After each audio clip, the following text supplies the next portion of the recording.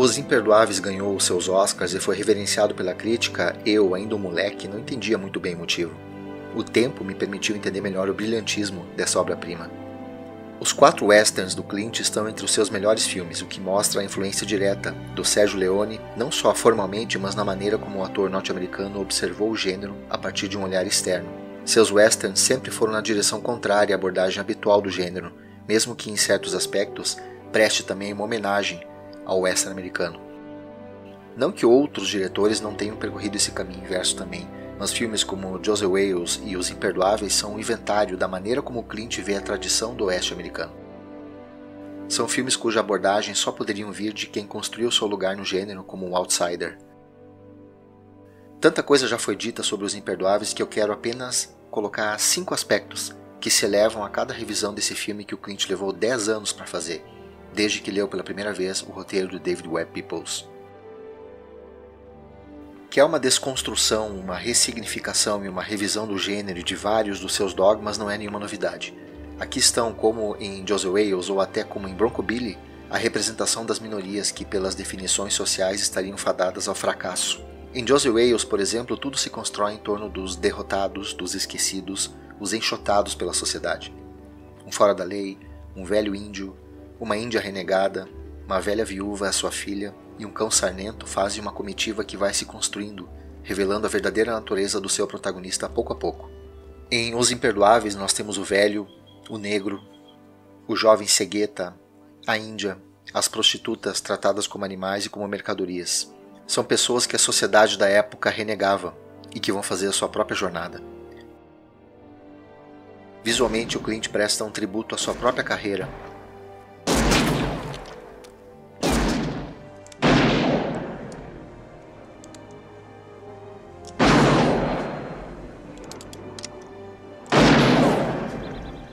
e recupera até mesmo alguns diálogos que mostram como a sua visão do Oeste não mudou, apenas se fortaleceu com os anos. Indian, this Mr. Wales is a cold-blooded killer. He's from Missouri, where they're all known to be killers of innocent men, women, and children. This room with my friend. You'd be William Money out of Missouri. Killer of women and children. That's right. Aqui está também a inversão dos papéis, onde o xerife, mesmo que não ceda nenhum tipo de corrupção e seja correto nas suas ideias de defesa da lei, assume o um papel de vilania, enquanto o ex-matador, ao tomar a vingança, recebe a nossa empatia, uma cortesia da famosa identificação proporcionada pela narrativa. Como Clint diz ao terminar de ler o roteiro, não ficou muito bem claro para ele quem era o bem e quem era o mal nessa história. Essa dualidade surgia porque todos tinham seu ponto de vista, e se há alguém errado aqui, nessa história, é justamente William Money, o ex-assassino cruel, matador de mulheres e de crianças e de tudo que anda ou rasteja. É essa dualidade um dos aspectos que mais me fascina no filme. How he's dead. And the other one too. All on account of pulling a trigger. It's a hell of a thing, killing a man. You take away all he's got,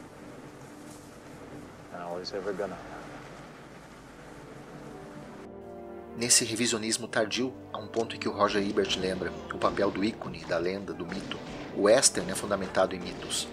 Os bandidos célebres, os xerifes implacáveis, os duelos tão propagados e que na realidade aconteciam muito pouco. O oeste americano é construído em cima de lendas. Se antes os homens ganhavam apelidos dos outros, em Os Imperdoáveis eles próprios se dão apelidos. Schofield Kid, they call me. Why? You from Schofield? nah, it's on account of my uh, Schofield model Smith Wesson pistol.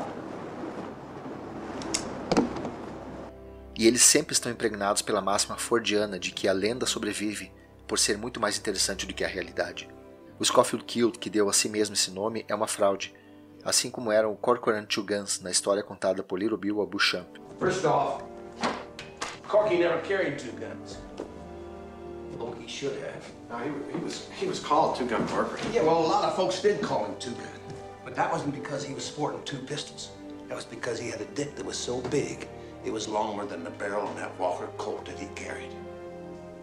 A realidade é menos gloriosa e pomposa, então, como o próprio escritor diz, certas liberdades são necessárias. O próprio Beauchamp representa a instantaneidade da glória no Oeste, pulando de um biografado para outro a cada vez que a justiça ou a morte interrompe os seus caminhos e as suas histórias. Desde a maneira como a agressão à prostituta viaja pelo Oeste, o mito ganha dimensões muito maiores do que a realidade. For cutting up a lady, cut up her face, cut her eyes out, cut her ears off, hell, even cut her teeth. Jesus. No, they cut up a woman. What? Yeah, cut up her face, cut her eyes out, cut her fingers off, cut her teeth. Everything for cunning, I suppose. A riqueza está também na economia e na utilidade dos personagens criados pelo David Webb Peoples. Todos têm uma função bem definida na trama. Bob, o inglês, por exemplo, tem uma função de estabelecer o poderio do antagonismo que existe em Little Bill. Mas também de permitir a chegada na história de Beauchamp, alívio cômico além de comentar alguns dos temas típicos do western. O roteiro constrói expectativas e subverte com auxílio da montagem. Quando a prostituta anuncia que perdeu a fé, Nobody's gonna come. After what little Bill done to that Englishman. A montagem nos antecipa que alguém está vindo. Rain's coming. Thank God.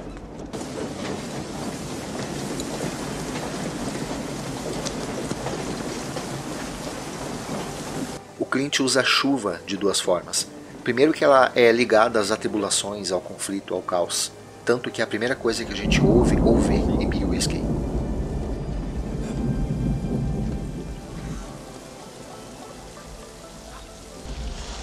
de maior caos, ela está presente desde o incidente que dá início ao filme até a surra de Little Bill em William Money e a cena final.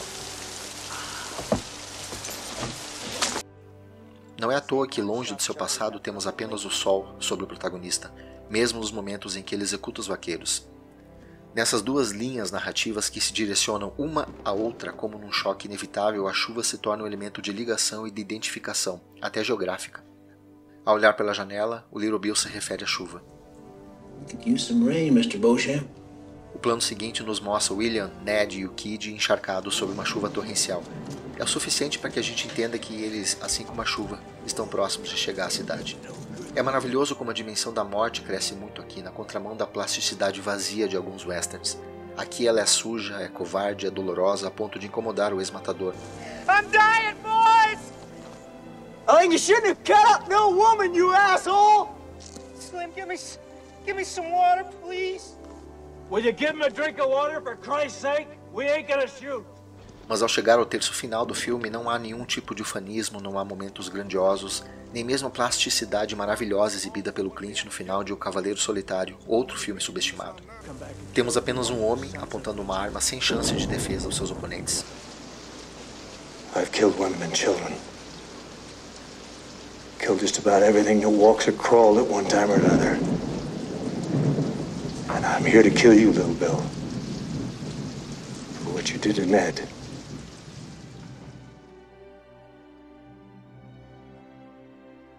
Os Imperdoáveis é uma obra-prima que só cresce com o tempo.